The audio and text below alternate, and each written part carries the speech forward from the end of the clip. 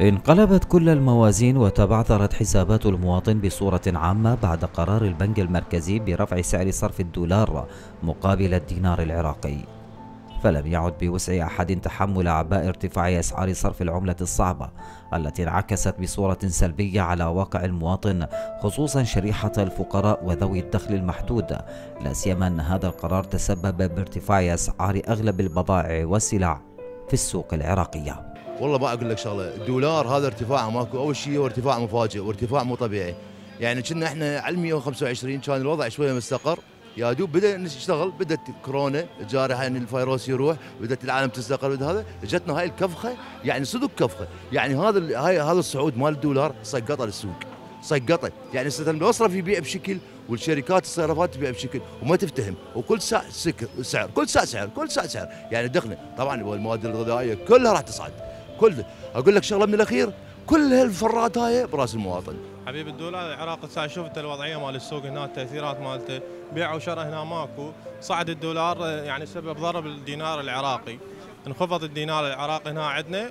شوفوا وضعية السوق يعني لا واحد يجي يسوق البضائع بقعت تنفسها يتاذى بها الفقير. وهاي وضعيتنا إحنا حاليا.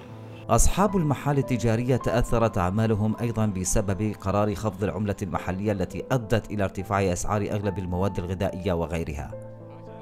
إذ أن الأسعار ارتفعت ما بين 50% إلى 100% لبعض السلع والبضائع مما أدى إلى توقف أغلب الأعمال الحرة.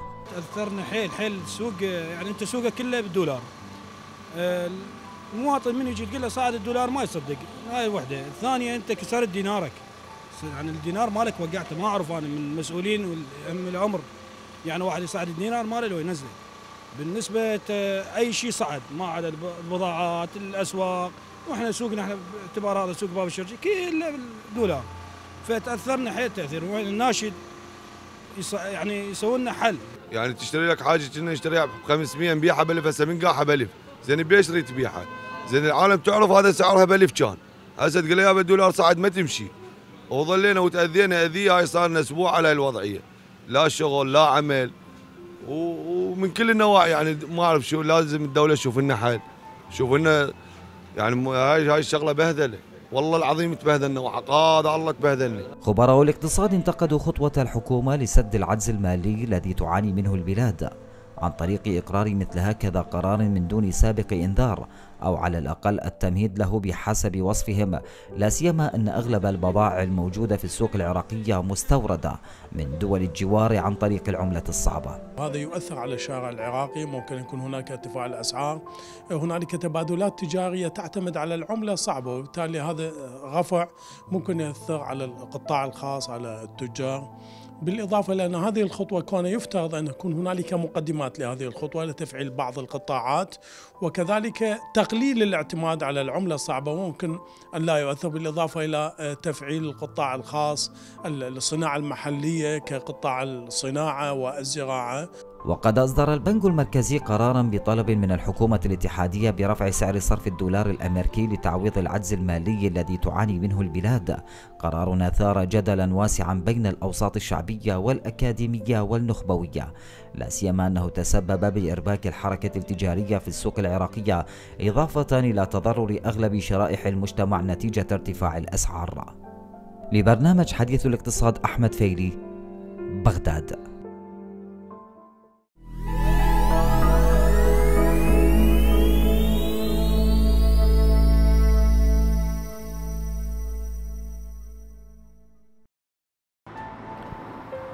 شكى بصريون من ارتفاع الأسعار في الأسواق المحلية على خلفية قرار خفض قيمة العملة العراقية مقابل الدولار الأمريكي الذي بات يتحكم في السوق لتشهد ركودا واضحا بعد أحجام المواطنين على شراء المواد والسلع التي يحتاجونها إلى النصف. كانت أسباب الناس تذبها مثلا على التاجر هو اللي صعد السلعه، هسه مو التاجر اللي صعد السلعه، هسه الدولة فوقها. شنو السبب الدولة؟ الدولة صعدت الدولار، التاجر نفس السلعة عنده ونفس أسعارها، التاجر يقول لك أنا سلعتي نفس السعر أبيعها البضاعة مالته، التاجر يقول لك جيب لي دولار اخ تاخذ بضاعتي بنفس الدولار بس من تجي أنت هنا تحولها للعراقي اللي كانت خلينا نقول ب 2000 أو بثلاثة وصل سعرها لل 6000 مثلا أعطيك مثلا سمك السمك إحنا نقول عليه السمك آه، كان كيلو الغريب مثلا الغريبة ب 4000 هسه ب 6000 زين هالمعدن ما يجيب. أنا قمت كنت آخذ آه، كيلوين ونص؟ هسه قمت آخذ كيلوين أو كيلو ونص. ليش ارتفع؟ معنيون بالشأن الاقتصادي انتقدوا قرار الحكومة برفع سعر صرف الدولار الذي أضر بالشرائح الفقيرة وذوي الدخل المحدود وانخفاض القدرة الشرائية في الأسواق وسط غياب الضمانات الحكومية التي تضبط الأسعار وتمنع المستغلين من التلاعب بها. رفع. أو تخفيض سعر الدينار العراقي أمام الدولار الأمريكي هو سيضر بسلة غذاء المواطن العراقي لأن أغلبها هي مستوردة من الخارج وبالتالي ستكون أسعارها تختلف عما كانت عليه عندما كان سعر آه، صرف الدينار العراقي مقابل الدولار الأمريكي آه، ما يقارب 1119 دينار. وبالتالي ستنعكس بشكل واضح على الفئات اللي هي أكثر آه، تضررا واللي تسمى بالفئات الهشة. إذا أردنا أن نتحدث بصراحة لا يوجد تخطيط ولا توجد استراتيجية واضحة سواء لهذه الحكومة أو الحكومات السابقة. م- قرارات آه، فردية سريعة بدون حسابات وبدون تدقيق. ويتحمل المواطن العراقي وزر الأخطاء الحكومية وتخبطها برسم السياسات الاقتصادية الفاقدة للرؤى التي دائما ما تضع مصلحة المواطن في الخانة الأخيرة من حساباتها لحديث الاقتصاد ستار المنصوري البصرة.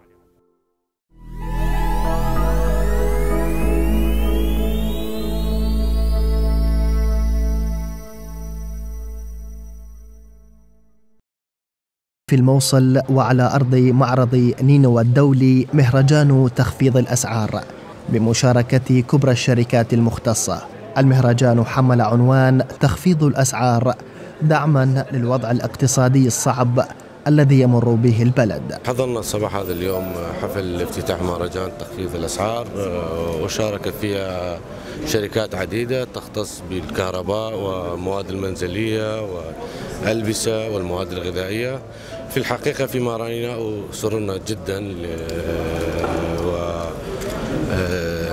نحن كحكومة محلية آه، نشجع هكذا المبادرات آه، في مدينة الموصل ومحافظ نينوى. ومن خلال قناتكم نطالب التجارين آه، بعدم رفع الأسعار في مدينة الموصل ومحافظة نينوى. وفي نفس الوقت نثمن دور القائمين على فتح هكذا الم- المعرض. ارتفاع سعر صرف الدولار الأمريكي أمام الدينار العراقي أثر وبشكل مباشر على هذا الحدث الاقتصادي فالتخوف مما هو قادم جعل الإقبال قليل نوعا ما وأربك المشهد في عموم المحافظة. كلش أذانا ارتفاع ال- الدولار لأن إحنا متعودين ياخذون الزبائن على هذا السعر. فهنا غلت عندنا. حتى المواعين السفرية غلت عندنا ال- المواد الغذائية غلت عندنا. فهنا لازم نغلي إحنا هم الأكلات. فهنا الزبائن ما قبلت اتصور قمنا نبيع بالأكلات ال- الأسعار القديمة فهاي أثر علينا وخسرنا بها أقيم هذا المهرجان بالتزامن مع آخر المتغيرات الاقتصادية التي طرأت في العراق وجاء لتقديم الدعم لأهالي الموصل الذين يعانون بالأساس من بطالة وشحة في العمل. هذا المعرض كشيء نموذجي ونفتقر لهكذا معارض والحمد لله فتح هذا المعرض ليبين النماذج الموجودة والمنتجات في محافظة نينوى. بالنسبة للوضع الاقتصادي يعني لا بأس به رغم ارتفاع سعر الدولار فأكو أغلب ال- المنتجات أو البضائع وبعض المحلات ما رفعوا يعني أسعار أو أسعار مثل ما يقول آه، طفيفة. بالنسبة لنا نحن ارتفع عندنا الورق فعندنا مثل مكدوس زيتونات آه، يعني لايلون دبيات يعني فرق عندنا في سعر الدولار بس ظليته على سعري. هاي أول مرة نشارك فيش معرض. صراحة معرض حلو آه، بس حركة ضعيفة. بسبب ارتفاع سعر الدولار هناك خوف من قبل الأهالي. يعني على اوضاع ماديه وخاصة إنه أكو كلام إنه حظر تجوال فعاد شوية تخوف من أهل قبل الأهالي. لبرنامج حديث الاقتصاد محمد طلال زاغروس تيفي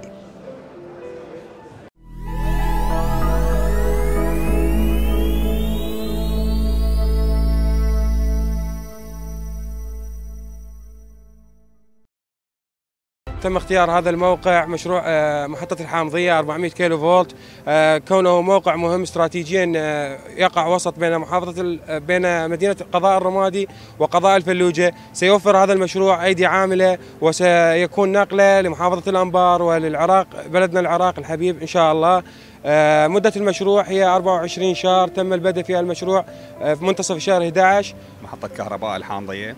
محطة هي تحويلية محطة من 400 تجي الكهرباء من بغداد تعطي خطوط للفلوجة. تحول الكهرباء من 400 ل 132 تعطي لمدينة الفلوجة وتعطي للرمادي. هذا المشروع طبعا راح يساهم بصورة كلش كبيرة على أنه يرفع مستوى تجهيز الطاقة الكهربائية خاصة يعني مناطق الرمادي والفلوجة ضمن موسم الصيف. العالم اللي حاليا قاعد تعاني من عدة إنه انقطاع فترات الكهرباء بالصيف كلش عالي بسبب عدم وجود محطات كهرباء تحويلية. هذا الشيء هذا الشيء حاليا قاعد تنفذه شركة سيمنز، شركة سيمنز قاعد تنفذ المشروع لصالح وزارة الكهرباء ضمن آه، مديرية فرع نقل الطاقة الكهربائية منطقة شرق شرق الأنبار. باشرت وزارة الكهرباء مديرية قاطع شرق الأنبار بالتعاقد مع شركة سيمنز الألمانية بانشاء محطه 400 كي في في منطقة الحامضيه. تعتبر هذه المحطة من المحطات الاستراتيجيه في الأنبار وهي الأولى من نوعها لزياده تجهيز الطاقة الكهربائية في المحافظة فيها عدة خطوط في التوزيع في شرق الرمادي وجنوب والجنوب وشرق الرمادي بالإضافة إلى خط الصقلاوية وخط لمدينة الفلوجة. ساهم هذا المشروع. بدأنا في هذا المشروع في منتهى في منتصف شهر 11 سنة 2021 وسيتم الانتهاء منه بإذن الله في سنة 2001 في نهاية سنة 2021 حضرنا هذا اليوم كممثل عن سيد محافظ الأنبار للمشاركة في هذه الندوة الحوارية التي أقامتها دائرة تقاعد الأنبار لطرح كثير من المشاكل التي يعاني منها المواطن وإيجاد الحلول لها إن شاء الله. آه هذه الندوات مهمة جدا لإبراز وتشخيص الخلل آه في عمل آه الدوائر وبالتالي سيضعنا أمام نتائج إيجابية وهذا هذا الجهد يجب أن يتم بتعاون المواطن والوجهات الاجتماعية والدوائر الخدمية وكل من يعنيه الأمر لأن هذه آه، الدائرة تلامس حاجات المواطن آه، بشكل خاص وخاصة شريحة الفقراء والمحتاجين والمتقاعدين. طبعا الموضوع المبلغ المليار و900 مليون هذه مبالغ آه، متراكمة في المصارف آه، المتواجدة في محافظة الأنبار وتم من خلال الهيئه الهيئة التدقيقية الموجودة في هيئة التقاعد الوطنيه فرع الأنبار. من قبل موظفي الحسابات تم آه، عندنا يعني موجود عندنا قانون المبلغ عندما يعبر عليه ستة أشهر نقوم بقطعه. قطع هذه المبالغ طبعا وقطعنا ما يقارب مليار و900 مليون عراقي تم إرجاعها إلى خزينة الدولة في محافظة الأنبار.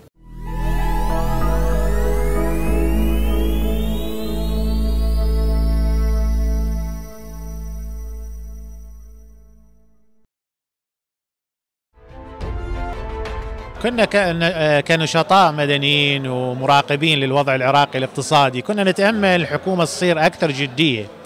وتكون آه، شفافية أكثر وتوضع حلول منطقية للوضع الاقتصادي المزري. آه، عندنا مشاكل اقتصادية بالجنوب عندنا مشاكل اقتصادية بالشمال شبه انهيار اقتصادي.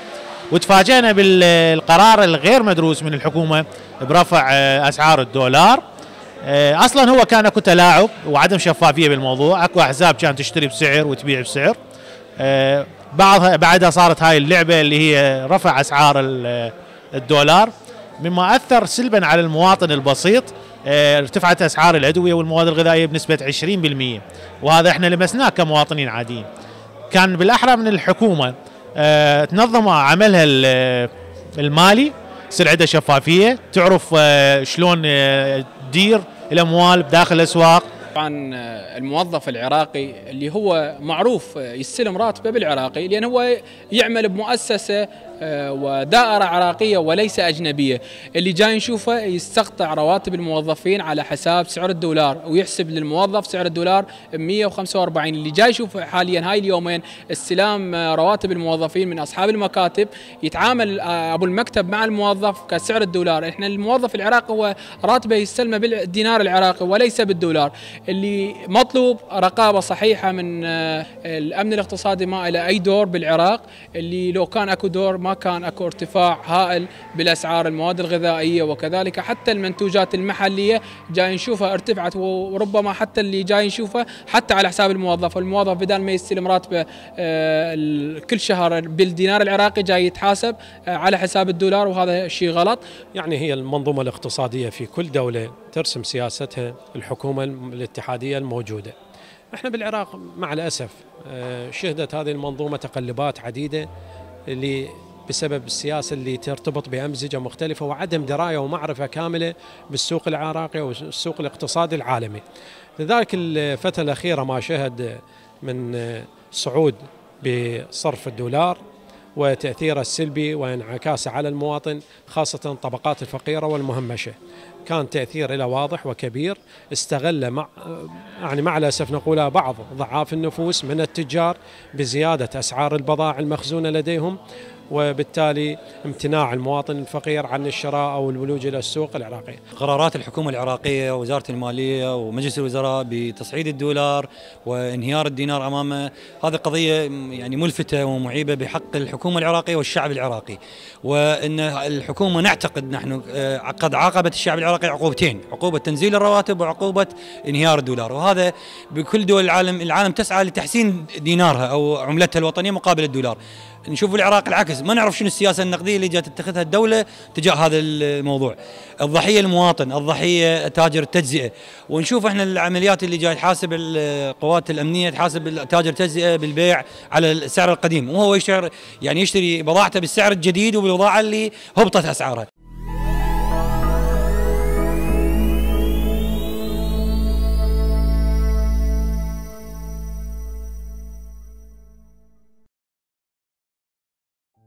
توقعات كثيرة بأن ترتفع أسعار النفط مرة أخرى مطلع العام المقبل وربما تتجاوز حاجز الخمسين دولارا للبرميل الواحد نتيجة الالتزام باتفاقات أوبك الخاصة بخفض الإنتاج النفطي أو هذا ما جاء في مؤتمر النفط والغاز في العاصمة بغداد.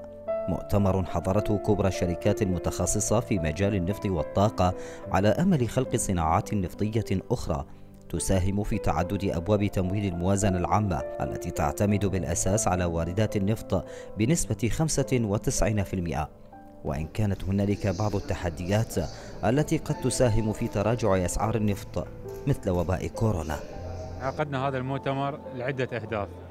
الهدف الأول من عنده هو جمع الشركات العالمية مع صناع القرار من الحكومة العراقية ومع الشركات العراقية المحلية اللي تتطلع للشغل للعمل مع الشركات العالمية. هاي من جهة، الجهة الثانية هذه مثل هذه المؤتمرات هي تشجع على العمل ضمن السوق العراقي وبالتالي تطوير الاقتصاد العراقي. والهدف من عنده هو هو تطوير الصناعات النفطية المرتبطة بالصناعة الرئيسية للنفط، مو بس الاعتماد على النفط وإنما تنويع الاقتصاد العراقي من خلال الصناعات المرتبطة بالقطاع النفطي. هذا المؤتمر كان فرصة أيضا لدخول بعض الشركات للاستثمار ليس فقط في مجال النفط وحسب بل حتى في قطاع الغاز المصاحب لاستخراج النفط حيث أن العراق يخسر سنويا ما قيمته 3 مليارات دولار نتيجة افتقار الحقول النفطية لمعدات جمع الغاز. في وقت يستورد العراق الغاز الطبيعي من بعض دول الجوار كإيران ولهذا فإن دولا غربية مثل كندا أبدت استعدادها للاستثمار في هذا القطاع المهم والذي لم يستثمر بعد. من المهم يعني آه، تبني سياسة خفض الكربون في العراق. وطبعا كندا من أهم البلدان التي آه، يعني أكدت على أهمية آه، هذا العامل. فطبعا قبض الغاز هذا الجزء الذي لا يتجزأ من قبض الكربون. فهناك نية واستعداد للشركات الكندية والمؤسسات الكندية للمشاركة في مثل هذا المجال. لا شك أن هناك مجال للتحسن ونحن موجودين ومستعدين للشراكة مع المؤسسات الحكومية العراقية والشركات العراقية كذلك. وبحسب خبراء الاقتصاد فإن هنالك تحديات كثيرة ومتعددة تواجه الاقتصاد العراقي فيما يعولون على ورقة الإصلاح البيضاء التي أطلقتها حكومة الكاظمي من أجل تصحيح المسار وفتح أبواب جديدة لمساعدة العراق اقتصاديا منها إعطاء مساحة كبيرة للقطاع الخاص في الاستثمار ليس فقط على مستوى النفط بل على جميع المستويات الأخرى. هي أكثر من مهمة و أنا يعني أستطيع الرجوع إلى الورقة البيضاء الورقة البيضاء اللي صدرت بإجماع مجلس الوزراء العراقي في شهر آه، تشرين أول الماضي أكتوبر. آه، واضحة وصريحة في مقدمتها وفي تشخيص الحالة الاقتصادية للعراق بأن الحكومة أقرت بأنها سوف تعطي للقطاع الخاص الفرصة الحقيقية في إدارة العجلة الاقتصادية وعدم اعتماد فلسفة ما كانت تقوم فيه الدولة أن القطاع الدولي نفسها هي تدير العجلة الاقتصادية. فالقرار واضح من مجلس الوزراء بأن الدور القادم الآن والبرقة البيضاء اللي هي برنامج إصلاح اقتصادي لمدة خمس سنوات للقطاع للقطاعات الاقتصادية كافة في العراق القطاع المصرفي والقطاع المالي أخذ أهمية خاصة وبأنه هناك سوف يكون في دور للقطاع الخاص دور واضح ورئيسي في قضية التنمية الاقتصادية وخلال السنوات الخمس القادمة. ويمثل العراق أرضية خصبة للاستثمار خاصة أنه يعد من البلدان الغنية بالمعادن إضافة إلى النفط. لكن ثمة مشكلات دائما ما تواجه الاستثمار أهمها البيروقراطية في إدارة مؤسسات الدولة التي أصبحت طاردة للمستثمر بعكس ما تقوم به حكومة كردستان من إبداء التسهيلات اللازمة لحث المستثمرين على الاستثمار. لبرنامج حديث الاقتصاد أحمد فيلي زاغروس تيفي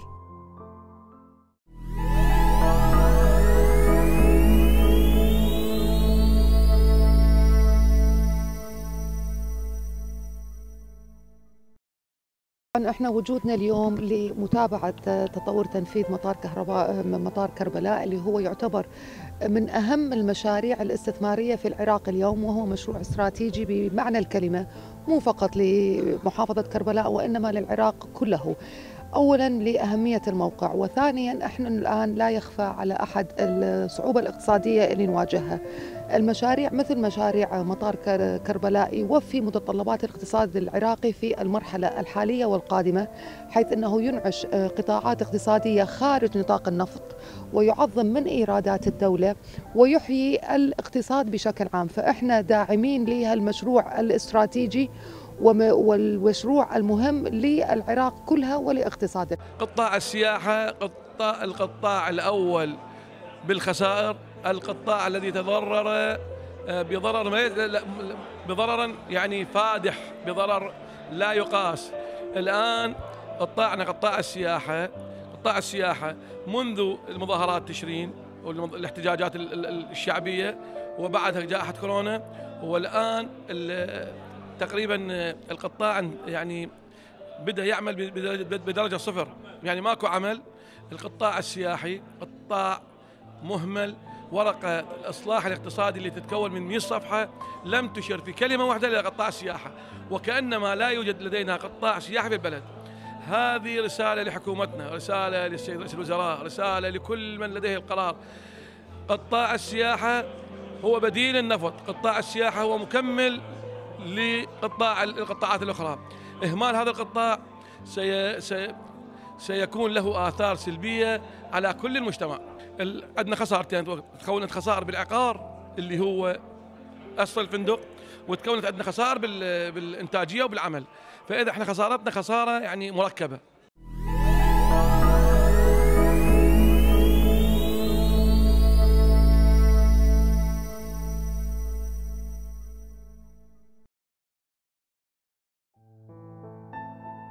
ارتفاع سعر صرف الدولار مقابل الدينار العراقي ألقى بظلاله على شرائح كبيرة في المجتمع العراقي سيما المقاولين والشركات منهم. أكثر المشاريع الخدمية والعمرانية في محافظة كربلاء المقدسة ستتوقف بسبب رفع سعر الدولار فيما حذر عدد من المقاولين من عزوف كبير في إنجاز المشاريع. آه، أعتقد إحنا آه، أكثر الناس تأثرنا أو راح نتأثر بارتفاع آه، سعر الصرف للدولار. المواد إحنا باعتبارنا هسه كشركة مقاولات مبلشين نشتغل مدارس. الحديد صعد المواد صعدت. يعني أقل شيء فد 20% راح تصعد علينا الأسعار. وما نعرف الحكومة راح تعوضنا أو لا. والله أكو فكرة أو طلب من الاتحاد العام أنه آه، إذا ما استجابت الحكومة 7000 مشروع لقيد الإنشاء راح تتوقف.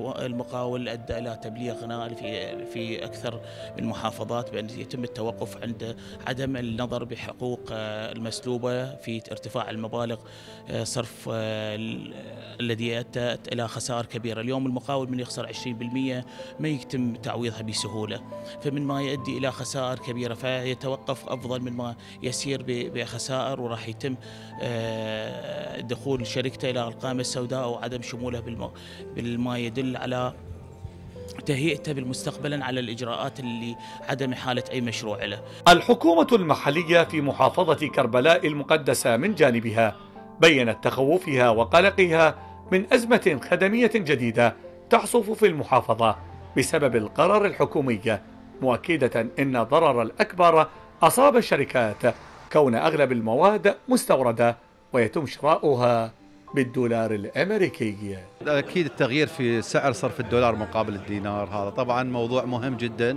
وأكيد له تأثيرات يعني صعبة على مستوى المشاريع ولكن إحنا نتوقع إنه آه، هناك ستكون حلول واستدراك لحلول مهمة بهذا المجال.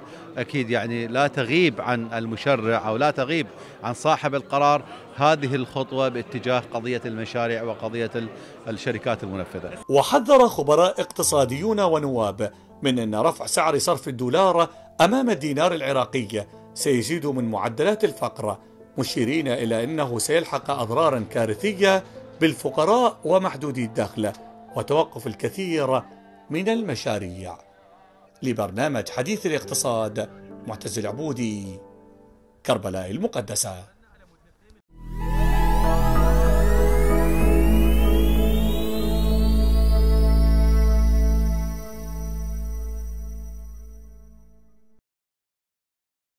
عندك الشكر. ب 40 لازم ابيعه ب 1000 أنا يعني أنا شنو ذنبي؟ يعني أنا مواطن أنا هم على باب الله. أنا على الألف وعلى الربع قاعد صح؟ يعني إذا ذاك يصعد أنا شنو ذنبي يعني هسه عندك المنتوج الوطني. الزيت الشكر منتوج وطني. ليش يصعد عليه صح؟ يعني هو إحنا ظالين إحنا واقعين بالنص. الرقابه هسه وحاشتني قال لي بيش تبيع الزيت؟ قلت له ب 2000 أبو 900 قال راح تتحاسب عليه. لازم ما تبيع تبيع أقل من عنده.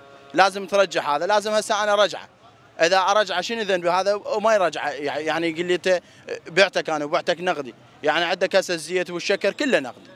طبعا أثر على المواطن دمر المواطن. شنو الأسعار؟ سيت البيض سبعة ونص. الطماطة صعدت الخضرة كلها صعدت المواطن. ويقول إحنا حتى هاي مع الموازنة يقول ال 500 راتبه 500 إحنا ما راح نتطرق له. أنت شنو ما تتطرق له؟ انت هسه سقطته ودمرته. سيت بيض ياخذه. أربع أربع بيضات بالف هاي منجزات يعني هاي منجزات الشهيد الحي. هذا اللي جاي إصلاحي. وهو بالنسبة اليه بالنسبة إليه والله العظيم كان يستحي على نفسه. أسولف لك أنا على سار. هو سببها. من هو غير سببها؟ هو سببها أنه هذا الإصلاحي جابوا لنا اياه والأسعار ما شاء الله شوفها أنت. شوفها يابا شنو اللي شنو ليش صعدت؟ ليش؟ ليش؟ والله صعد الدولار. تعبتنا هاي الحكومة كلش. والله مللتنا. يعني مللتنا مو بكل بكل وسيلة قاعد تحاربنا حتى برزقنا. يعني ناس ما أدري يعني أول آجارة صعدوا عليه الآجارات. يعني حتى لو زود الآجار عليه صعد عليه الورق هسه دور دمرة بعد ما يشتغل. ماكو يعني ماكو شغل بعد ماكو. شنو سبب ارتفاع السعر؟ ارتفاع كله دولار. كله سبب الدولار هذا الدهن هسه والشكر والمواد الغذائيه اللي يعطيه 160 ألف دينار راح صعد عليه بطل دهن صار ب 2000 دينار. يعني شو يشتري بعد؟ يشتري. ما يشتري؟ شنو شنو شنو يجيبه؟ يعني شنو بفكرنا دخله صار المعيشه مغالية كلش. يعني والله تعب وأنا تعب وأنا ذولا